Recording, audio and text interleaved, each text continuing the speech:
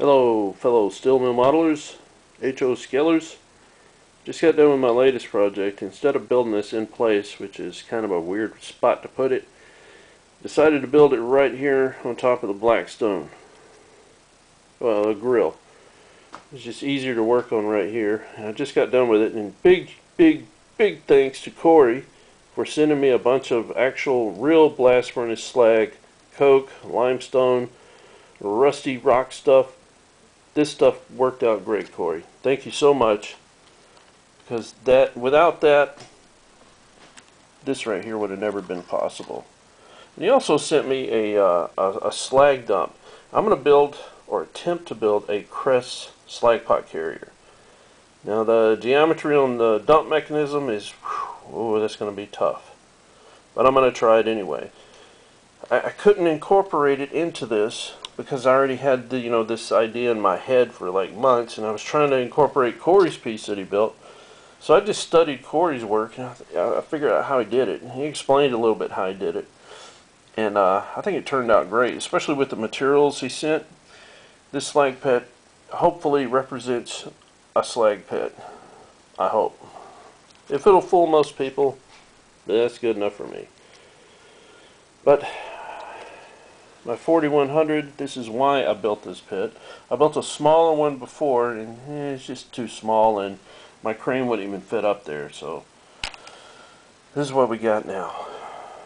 And that's pretty much it. I, am either I, I'm building a dragline bucket but it's such a real pain to take you know the hook off and just reeve all this up you know just for a dragline bucket so I'm going to do it the really hard way and just make another 4100 for this drag line. The only difference on the next 4100 will be uh, the cab on the new or the next build will be off center or actually out this way and elevated and there'll be a walkway right here. You know that's just for this particular crane, the drag line. And my, my idea is now, to incorporate Kory's piece into my build, I'm going to put it right here. But I don't know if I got enough room where I want to put this. So, yeah, I don't know what I'm going to do yet. I made these. This is uh, supposed to be slag pot skull. It's dumped out and hardened in the pot and they just dump it right out. That's supposed to represent that. I haven't found the right paint to really make it pop. I'll find it and then I'll touch back on this. These are a little large anyway. I made this out of a uh, muffin container actually.